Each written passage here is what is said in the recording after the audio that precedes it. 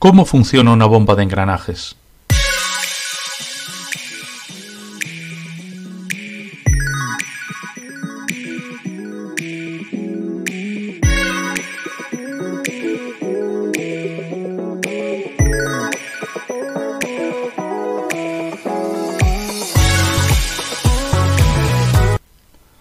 Una bomba de engranajes utiliza ruedas dentadas engranadas, denominadas engranajes, para bombear el fluido. En el momento en que los flancos de los dientes desengranan, se genera un volumen adicional. En el momento en que los flancos de los dientes engranan, este volumen se reduce. Las ruedas dentadas están colocadas en la cámara hermética de la bomba. La zona donde se produce el desengranaje de los dientes de las ruedas se conecta al lado de la aspiración. La zona donde se produce el engranaje de los dientes de las ruedas se conecta al lado de la presión. Una de las ruedas dentadas es la rueda dentada transmisora y está unida al motor. La otra rueda dentada es la rueda conducida.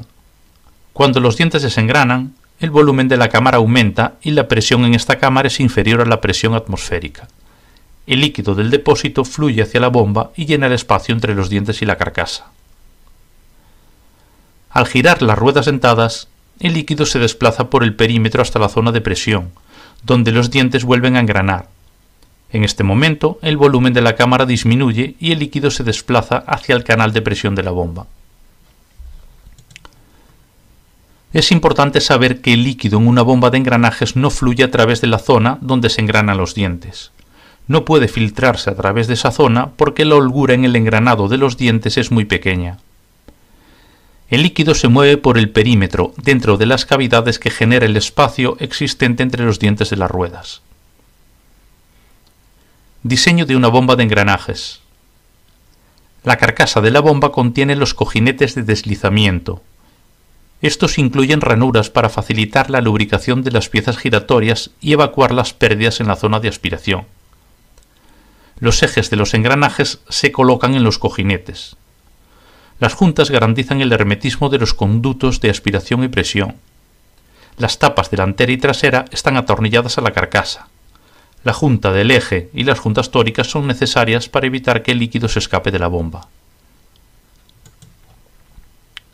Bomba de engranajes con dentado interior. El engranaje puede ser no solo de dentado exterior, sino también de dentado interior. Por lo tanto, es posible crear una bomba de engranajes que utilice ruedas dentadas engranadas con dentado interior. El punto donde se produce el desengranaje de los dientes de las ruedas se conecta al lado de la aspiración. El punto donde se produce el engranaje de los dientes de las ruedas se conecta al lado de la presión.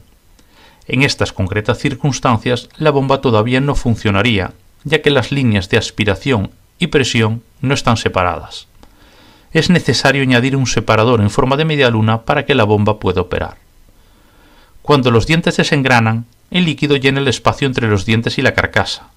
Con el movimiento de rotación de la rueda dentada, el fluido llegará a la zona donde se produce el engranaje de los dientes, desde donde se desplaza hacia el canal de presión de la bomba.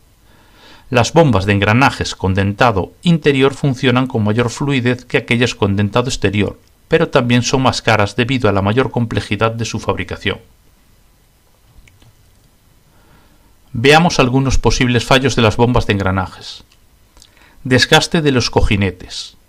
Los engranajes son más resistentes que los cojinetes, por lo que estos se desgastan más rápidamente con el funcionamiento.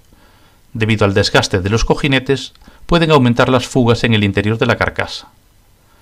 Desgaste de la tapa. El aceite se filtrará a través de una tapa dañada. En caso de daño en las juntas, el fluido puede pasar del lado de presión al de aspiración, reduciendo la presión de funcionamiento y el caudal.